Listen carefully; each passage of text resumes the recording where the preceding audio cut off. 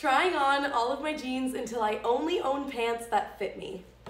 Say it with me. Clothes are made to fit me. I, I am not made to fit clothes. I bought these jeans in grade nine, okay? I am 21 years old now. Let's try them on. Moment of truth. They fit? What in the Sisterhood of the Traveling Pants is going on? What is going on? The last pants I tried on were a size 4. These are a size 12 and they fit me literally the exact same. And I am gonna keep these because I look really good. these ones piss me off a little bit because they're really cute, okay? Very cute, but they just, they don't fit. They don't fit. So I don't care how cute they are, I'm getting rid of them.